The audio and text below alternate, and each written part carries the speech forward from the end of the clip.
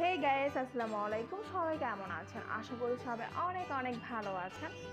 আজকে আমি খুবই মজাদার অ্যান্ড হেলদি একটি মিল্কশেক তৈরি করে দেখাবো। বাসায় থাকা খুবই কম উপকরণে এই মিল্কশেকটি আপনারা সহজেই তৈরি করে নিতে পারবেন। পুরো ভিডিওটিতে যাওয়ার আগে যদি আমার চ্যানেলটি আপনারা সাবস্ক্রাইব না করে থাকেন, পুরো ভিডিও দেখে অবশ্যই চ্যানেলটি সাবস্ক্রাইব করে রাখবেন। এই মিল্কশেকটি তৈরি করতে আমি এখানে ফ্রেশ কাউ মিল্ক এক কাপ পরিমাণে নিয়েছি। আর এখানে একটা কলা নিয়েছি। আমার কলাটা মানে সাইজে একটু ছোট ছিল। আপনারা চাইলে একটু বড় সাইজের কলা নিতে পারেন। তো আমি এখানে দুটো পরিমাণে খেজুর কিপ করে কেটে নিয়েছি আর কিছু কিশমিশ নিয়ে নিয়েছি। তো আমি সব উপকরণগুলোই যে ব্লেন্ডার জারে একে একে দিয়ে নিচ্ছি।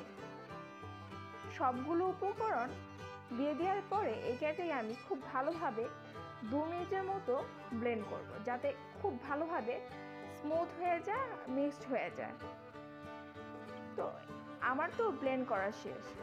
তো আমি একটি গ্লাস নিয়ে নিয়েছি, আর সেটাতে একটু করে কলা দিয়ে সাজিয়ে নিয়েছি, যাতে দেখতে বেশ ভালো লাগে। সব জিনিসেরই, দেখতে যেটা ভালো লাগে, খেতেও কিন্তু সেটা ভীষণ ভালো লাগে। এই তো আমার রেডি হয়ে গেল মিল্কশেকটি সেটাকে আমি একটু সাজে গুজিয়ে নিব। এখানে আমি কুচি করে চেরি ফলটাকে কেটে নিয়েছি আর ছোট ছোট করে খেজুর কেটে নিয়েছি, যেটা আমার উপরে একটু সাজিয়ে গুজিয়ে দিচ্ছি। এই মিল্কশেকটি ঠান্ডা ঠান্ডা পরিবেশন করলে ভীষণ ভালো লাগে, কারণ এই মিল্কশেকটি ঠান্ডা পান করতেই বেশি ভালো লাগে। আমি উপরে পরিবেশনের জন্য যা দেখতে ভালো লাগবে, এর জন্য এখানে এক চিমটি পরিমাণের মধু দিয়ে দিয়েছি।